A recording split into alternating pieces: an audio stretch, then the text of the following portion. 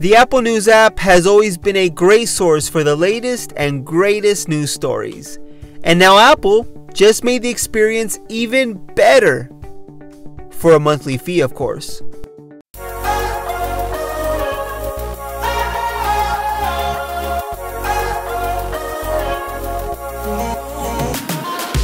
This is Retethered, and this is our review of the Apple News Plus subscription and what you can expect from it. If you haven't already, please subscribe for the latest tech news and reviews. Let's get started. When you go into the Apple News app, you may have a hard time finding where the Apple News Plus tab is actually at. That's because Apple News Plus is only available on iOS 12.2, so you're going to have to update in order to start using the new service. Once the new software update is downloaded and ready to go, Apple lets you sign up for the new service. And they're even giving you a 30 day free trial. At least for now, they are. After that, the service is $9.99 per month. The app is clean and very easy to get around. Very similar to the regular Apple News app, which remains the same and free by the way. To get to the Plus area, you click on the News Plus tab, which is on the left on the iPad and on the bottom on the iPhone. Apple says that there are over 300 magazines available at launch, with more to come. And on first glance, it looks about right.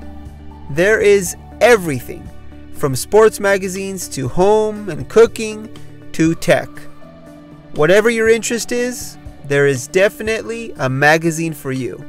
On the main menu up top, you can select the genre you want to read and even browse through the selection alphabetically. Below that, you have the recent magazines that you've read or saved, and you can even download the magazines for offline reading as well. As you scroll down, you see some recommendations on some articles that you might be interested in, and there's even an area where you can see what new issues are available. When you open up a magazine, it immediately takes you to a table of contents style page where you can select which article you want to read, and it's very easy and straightforward. Apple has done a great job making the whole application easy to use, and find exactly what you're looking for. The bottom line for $9.99, you're getting loads of great content. If you're paying a monthly subscription now for any of these magazines, then it's definitely worth canceling that subscription and going with Apple News Plus. Unless you actually like having the physical copy in your hands. What do you think of the Apple News Plus service? Are you planning on signing up and giving it a try? Let me know with a comment down below. If you liked the video, please give it a thumbs up.